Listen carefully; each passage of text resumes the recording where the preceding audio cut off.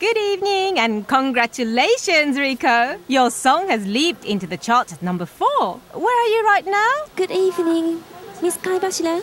Hoki. You're on location, right?